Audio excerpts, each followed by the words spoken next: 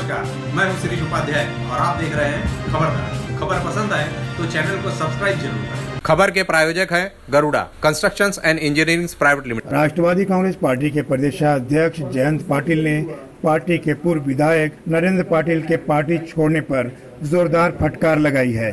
पाटिल ने कहा कि यशवंतराव चौहान और शरद पवार के मार्गदर्शन में अन्ना साहब पाटिल ने मथारी कामगारों के हित में अच्छा काम किया। उन्होंने कांग्रेस तथा राष्ट्रवादी कांग्रेस पार्टी के विचारों का हमेशा सम्मान किया। उनके बेटे नरेंद्र पाटिल ने राष्ट्रवादी कांग्रेस पार्टी की सत्ता चले जाने के बाद पार्टी छोड़ दी।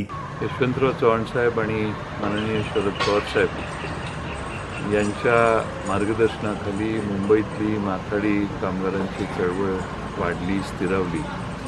कैलासवासी अण्णासाहेब पाटील यांनी आयुष्यभर काँग्रेस राष्ट्रवादी काँग्रेसच्या विचाराचीच पाठराखण केली.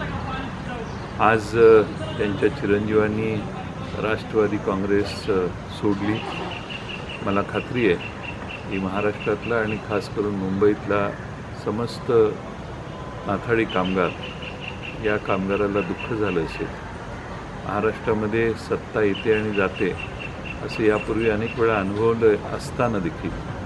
सत्ता गेल्यानंतर तरुण पिढीतली ही मुलं सहजासहजी नांग्या टाकतात.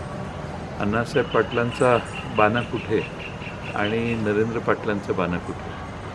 विरोधात राहून संघर्ष करण्याची ज्यांची मानसिकताच संपलेली आहे त्यांनी पक्ष बदलला.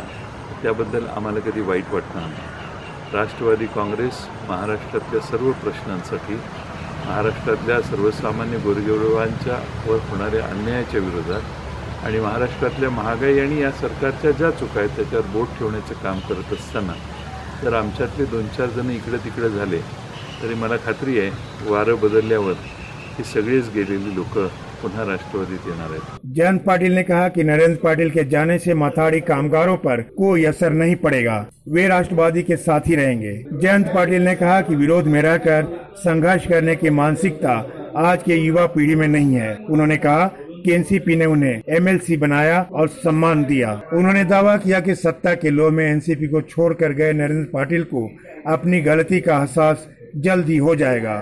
आपको बता दें कि नरेंद्र पाटिल का एमएलसी का कार्यकाल हाल ही में समाप्त हुआ है। मुख्यमंत्री देवेंद्र फडणवीस ने उन्हें अन्ना साहब पाटिल महामंडल का अध्यक्ष नियुक्त किया है और जल्द ही वे औपचारिक रूप से भाजपा में शामिल हो जाएँगे। मुंबई से किरण हेगड़े, खबरदार। देखते रहिए खबरदार। रहिए खबरदार।